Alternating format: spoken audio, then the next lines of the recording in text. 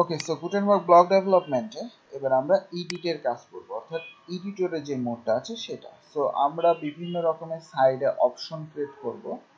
So এই জন্য আমাদের দেখেন কি করতে হবে। সো এই জন্য আমাদের উপরে আমাদের হচ্ছে যে ব্লক ডেভেলপমেন্টের জন্য এখানে দেখেন আমরা কনস্ট্যান্ট ইনস্পেক্ট কন্ট্রোল নিয়ে নিলাম ডাব্লিউপি ইডিটর থেকে।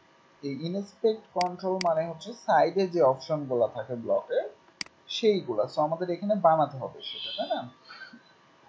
সো আমরা এই জায়গায় কি করব? এটাকে নিয়ে নেব। ইনস্পেক্ট কন্ট্রোল ওকে সো এই জায়গায় আমরা এবার এইটা ক্রিয়েট করতে পারি। ওকে সো এই জায়গায় আমাদের একটা কমা দিতে হবে। তাহলে হয়ে যাবে। আচ্ছা এবার এইখানে এর মধ্যে আমরা বিভিন্ন কি করব? বিভিন্ন সিলেক্ট তৈরি করব ইনপুট তৈরি করব। সো এটাকে ডাব্লিউপি কম্পোনেন্ট থেকে আমরা পাবো। সো যেভাবে ইনস্পেক্ট কন্ট্রোল করলাম, সেভাবে এখন আমরা ডাব্লিউপি ডাব্লিউপি কম্পোনেন্ট থেকে, এটা হচ্ছে এডিটর থেকে পেলাম। এবার ডাব্লিউপি কম্পোনেন্ট থেকে আমাদের যে প্রয়োজনীয় জিনিসগুলো সাপোজ সিলেক্টের জন্য সিলেক্ট টেক্সটের জন্য টেক্সট কন্ট্রোল হ্যাঁ এই জিনিসগুলো এখানে আমরা ইনক্লুড করে নেব।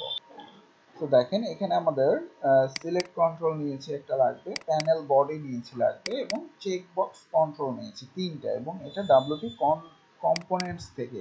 ঠিক আছে? এই জিনিসগুলো নিচ্ছি। সো এই জিনিসটা মনে রাখবেন। আর এটা হচ্ছে ডাব্লিউপি এডিটর থেকে নিচ্ছি ইনস্পেক্ট কন্ট্রোল ওকে সো এবার আমরা এই যে প্যানেল বডি দিয়ে এটাকে র্যাপ করব।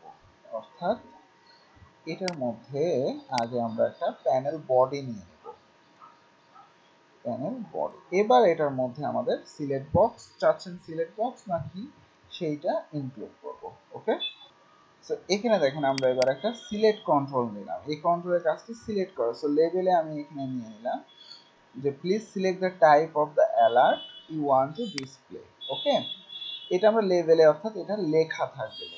আর অপশনসটা কি? এই অল টাইপ এখন আমরা তৈরি করব। ভ্যালুও তাহলে এখান থেকে পেয়ে যাবে। আর অন চেঞ্জও কি? এখানে অল টাইপটা সেট অ্যাট্রিবিউট আমরা এই এখান থেকে পাবো প্রপস থেকে। সেটার মাধ্যমে এখানে চেঞ্জ হবে। সো এই জিনিসগুলো আগে একে একে করে নিই হ্যাঁ? অপশনস এর মধ্যে আমরা একটা অল টাইপ ডিফাইন করেছি। সো এটাকে আমাদের বানাতে হবে, তাছাড়া কিন্তু পাবে না। সো আমরা দেখেন যে এখানে অল টাইপস নামে একটা ভ্যারিয়েবলের মধ্যে এখানে পাস করে দিলাম যে ভ্যালু হিসেবে প্রাইমারি লেভেল হিসেবে প্রাইমারি ভ্যালু হিসেবে সেকেন্ডারি লেভেল হিসেবে প্রাইমারি সেকেন্ডারি সো এভাবে আমরা অল টাইপের বিভিন্ন কিছু টাইপগুলা আমরা এখানে কি করলাম? নিয়ে নিলাম হ্যাঁ? এবং এই অল টাইপটাই আমরা কি করেছি? এখানে কল করছি। ভ্যালু হিসেবেও তাহলে এটা পাবে। এখন এই যে অল টাইপটা যখন আমরা চেঞ্জ করব অন চেঞ্জের কাজ হচ্ছে যখন এটা সিলেক্ট করে চেঞ্জ করব, তখন কি হবে? তখন আমাদের এই যে এখানে যে অ্যাট্রিবিউটটা পাচ্ছি সেট অ্যাট্রিবিউটস সেইটা আমাদের কল হবে এবং সেটাকে এই যে এই অ্যালার্ট টাইপের মাধ্যমে চেঞ্জ করে দেবে। সেটার মধ্যে দেখেন অ্যালার্ট টাইপ দিয়েছি, সেটার মাধ্যমে আমি যেটা চেঞ্জ করব সেটাই সে তখন নিবে ঠিক আছে? সো এই যে সেট অ্যাট্রিবিউট এটা আমরা প্রপস থেকে পাচ্ছি, এই প্রপস সো আমাকে এখানে প্রপস ডট সেট অ্যাট্রিবিউট লিখতে হতো। সো আমি এখানে না লিখে এটাকে আমরা ডি স্ট্রাকচারিং করে নিলাম। এটা ইএস সিক্স এর একটা হচ্ছে যে আপডেট ডি স্ট্রাকচারিং সো আমরা এই প্রপস থেকে এই এই জিনিসগুলো পাচ্ছি, যেরকম অ্যাট্রিবিউটস এই যে দেখেন, উপরে কিন্তু আমরা অ্যাট্রিবিউটস কল করেছিলাম। কোথায়? আচ্ছা এখানে অ্যাট্রিবিউটসগুলো এখনও দিইনি। অ্যাট্রিবিউটস আমাদের লাগবে। হ্যাঁ অ্যাট্রিবিউটস নিয়ে কাজ করতেছি। যেরকম অ্যালার্ট টাইপ কন্টেন্ট এবং হচ্ছে ডিসমিস এই তিনটা অ্যাট্রিবিউটস আমরা অ্যাড করব। আর সেট অ্যাট্রিবিউটস পাচ্ছি, এটা প্রপস থেকে। সো আমরা এখানে পেয়ে যাচ্ছি। এখন শুধু আমাদের কাজ হচ্ছে এই যে অ্যাট্রিবিউট সেট করা।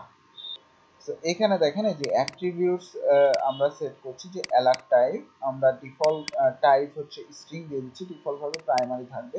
কন্টেন্ট নিয়েছি একটা টাইপ স্ট্রিং এবং ডিসমিস নিয়েছি, যেটা বুলিয়ান টাইপ এবং ডিফল্ট হবে সেটা ট্রু থাকবে ওকে সো ওই অ্যাট্রিবিউটগুলাই আমরা এখানে পাস করেছি এই যে প্রপস এর ডিস্ট্রাকচারিং করে নিয়েছি আর যার কারণে এখানে এখন অ্যালার্ট টাইপ আমরা পেয়ে যাব। সো অ্যালার্ট টাইপটা দেখেন, এখানে যে প্রাইমারি ডিফল্ট হবে, আর যখন আমরা চেঞ্জ করব যে অপশনস অপশনস থেকে তখন আমরা এই যে এটা পাবো।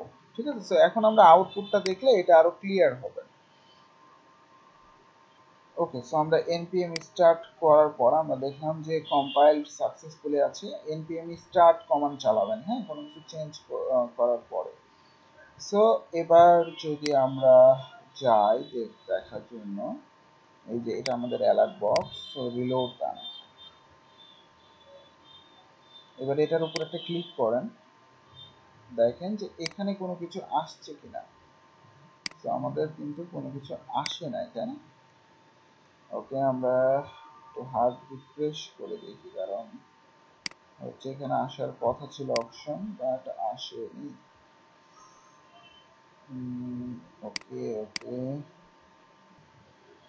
আচ্ছা সো রিটার্নে আমাদের এখানে একটা সমস্যা আছে। যখনই আপনি ইনস্পেক্ট কন্ট্রোল করবেন এইভাবে আপনাকে এটাকে দিয়ে নিতে হবে। ওকে? সো এটাকে সেভ করেন এবার আচ্ছা সেভ করার পরে এবার আমরা একটু দেখি যে আমাদের কাজ করতেছে কিনা।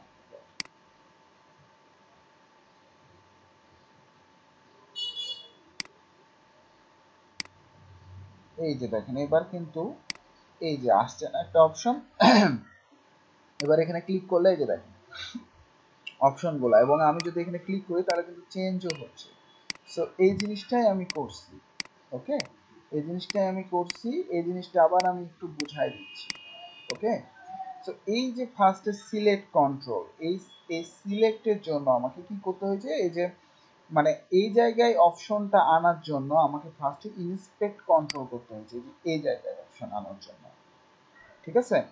তারপরে সেটাকে প্যানেল বডি এটা একটা প্যানেলের মধ্যে নিয়ে আসি এবার সিলেক্ট কন্ট্রোল মানে একটা সিলেক্ট বক্স আমি বানাচ্ছি, যেখানে একটা লেভেল দিলাম একটা অপশন দিলাম। মানে ওর মধ্যে কি কি অপশন থাকে? সো অল টাইপে আমরা এটাকে ডিফাইন করে নিয়েছি উপরে।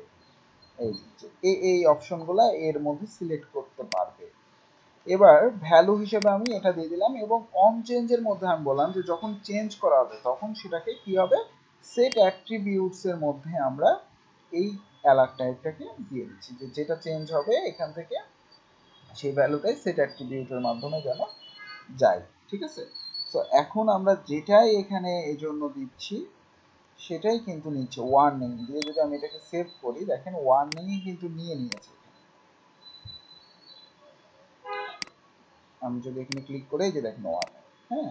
আমি যদি সেকেন্ড অ্যাডে ক্লিক করে আপডেট দিই, দেখেন আপডেট হয়ে যাবে সো এটাকে চেঞ্জ করা যাচ্ছে। এটার মাধ্যমে অন চেঞ্জ ওকে সো আমাদের এতটুকুন পারফেক্ট এবার এই জায়গায় আমাদের অ্যালার্টের জিনিসটা নিয়ে আসতে হবে ডিজাইনটা এবং এই যখনই আমি এখানে ক্লিক করব তখন এখানে আমাদের ডিজাইনটা চেঞ্জ আসবে।